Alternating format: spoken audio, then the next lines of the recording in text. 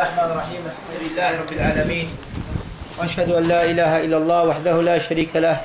وأشهد أن محمدا عبده ورسوله. أما بعد uh, the next section of Usul al-Sunnah of Imam Ahmad rahimahullah is where Imam Ahmad rahimahullah he says والسمع والطاعة لأئمة للأئمة وأمير المؤمنين البر والفاجر the hear, hearing and obeying and obedience to the leaders of the Muslims, the leaders of the believers, whether they are righteous or unrighteous.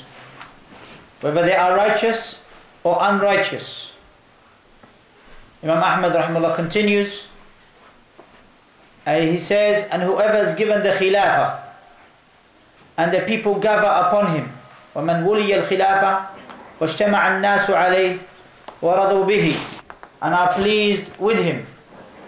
وَمَنْ غَلَبَهُمْ بِالسَّيْفِ And that particular leader who takes his leadership yani by force with the sword حتى صار خليفة until he becomes the leader وسمي أمير المؤمنين and he is called and taken as the Amir al-Mu'mineen then hearing and obeying is to be for them in the good matters, in the righteous matters.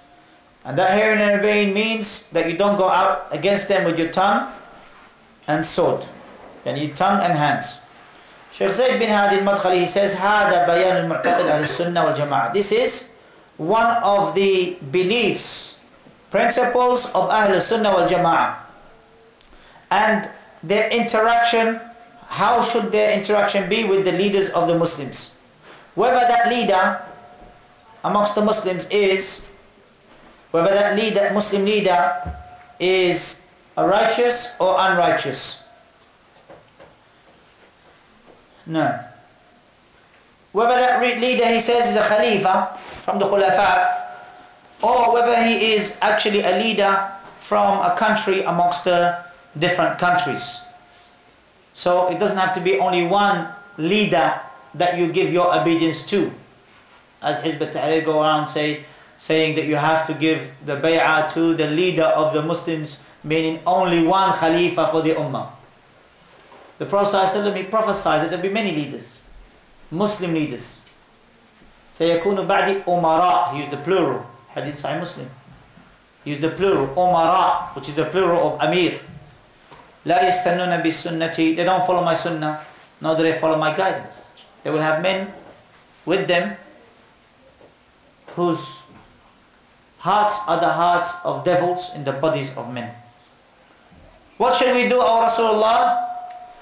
In that state, the Sahaba asked, the Messenger replied, You hear and obey, uh, he said, You hear and obey, even if they strike your backs and take your wealth. And that hearing and obeying means not going out against them with your tongue and hands.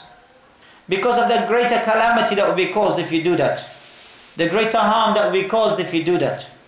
Sheikh Zayd, he says, وَالْحَذَرْ مَنْ الْاخْتِلَافِ عَلَيْهِ One should be warned and be careful from differing over that particular leader, the obedience towards him, and opposing him, opposing him openly. Because in Islam, if you want to, if you see that the leader has made a mistake, the Muslim leader has opposed the Sunnah or has opposed an aspect from the deen of Allah subhanahu wa ta'ala, then there is the channel of nasiha, of giving advice. As in the hadith in Muslim Imam Ahmad, man arada ينصح ذي سلطان فلا يبديه علانية. Whoever wants to advise a leader of the Muslims, a sultan, then don't do it openly. So it shouldn't be in the newspapers with petitions.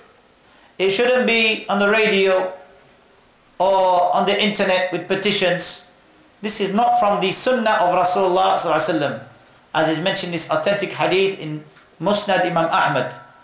Rather, he said, sallallahu he should the, the advice should be given secretly, because he said وَيَخْلُو بِهِ should be between him and the person. Otherwise, what will happen? Sheikh Zaid says, it will if you don't do it in the proper channel of advising him secretly, then what will happen is it will make ihdath asbab al-fawda. If you do it openly, you will bring about those reasons for chaos التي بسببها تهتك الأعراض due to it the honors are taken away and due to it blood is shed and due to it wealth and property is destroyed and much harm will occur from some people to others and this is actually something which is known that we see on the earth, he says. And we hear as well from those revolutions that occur, what happens in the end? The people of that nation, they end up killing each other. And much bloodshed is caused. And all of that is because they didn't follow the path of Islam in how to rectify the Muslim leaders who oppose the Sharia in an, in an aspect or who, go, who, are, who err with regards an aspect from the Sharia, knowingly or unknown, unknowingly. If they did it knowingly, they're to be advised, and unknowingly they're to be advised to make istighfar, seek forgiveness from Allah subhanahu wa ta'ala for the mistake that they have made. But as to openly cause havoc and chaos in society, such that Muslim kills his brother and his sister, women and children and the old are killed uh, uh, indiscriminately, unlawfully, then indeed the Messenger said, Inna dima'akum wa amwalakum wa a'radakum haramun alaykum كحرمة هذا اليوم كحرمة هذا البلد that your blood, your property and your honor is sacred for you just like the sacredness of this day and that was the day of Arafah and just like the sacredness of this place meaning the haram so Sheikh Zayd bin Hadi says, فَمَنْ أَكْرَمَهُمُ اللَّهُ عَلَى وَجْهِ الْأَرْضِ بِوَالٍ مُسْلِمٍ لَيْسَ كَافِرًا So whoever Allah blesses upon the earth to have a Muslim leader, not a disbeliever, كَانَ فِيهِ مَا فِيهِ مِنَ الْقُصُورِ Yet that Muslim leader has deficiency, whatever that deficiency is, والمعاصي, he has sins and disobedience, or will or is a person who transgresses and he goes overboard, والتقصير أو التقصير في حق الرعاية الرعية sorry or he is deficient in fulfilling the rights of the people مهما كان شيء من ذلك so whatever transpires from him يعني from these the things that we have mentioned from wrongdoing then he says his leadership overall is a mercy for the people in general the fact that he is a leader a Muslim leader over the people is a, is a mercy for the people. Because there is security for the people at least. There is security. And due to him, the people are able to seek their provisions, their rizq. They're able to continue their jobs. They're able to look after their household. They're able to do, people don't look at that, the good, that they're able to continue.